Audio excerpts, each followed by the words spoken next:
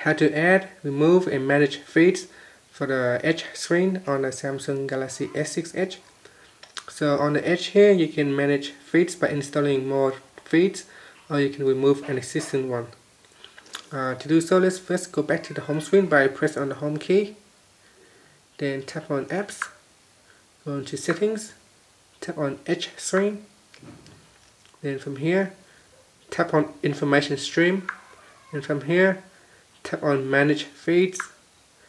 And then to add more feed simply tap on download feeds. And then choose the one that you want to download. And tap on install. Tap on accept and download. And this will allow you to install more feeds into your uh, phone. And you can pull the information down. We just wait for it to finish the installation okay now that it's finished we can give it a test.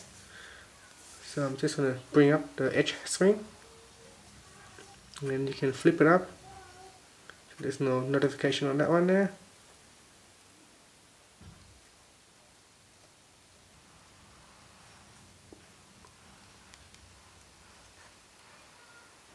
That particular app there seems to cause this um, to crash. It's not doing anything so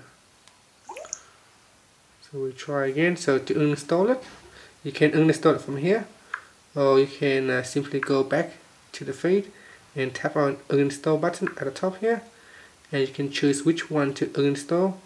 So let's say I want to uninstall that one tap on uninstall. I can also uninstall that one there as well and then tap on uninstall and we'll get removed. So we'll give it another test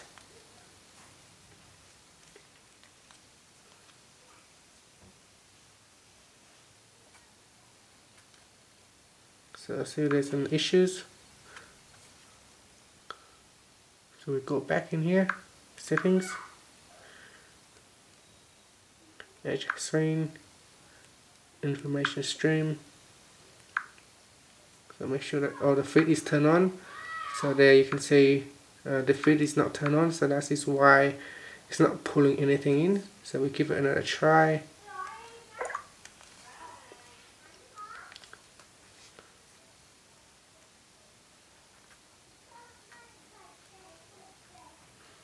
Nope, doesn't seem to uh, show us anything at the moment.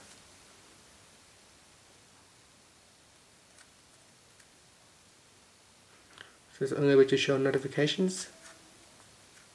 But then it won't allow me to um, flip to other feed.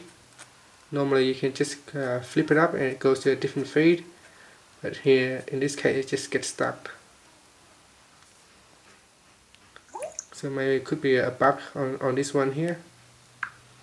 But yeah that's how you can manage the feed. Thank you for watching this video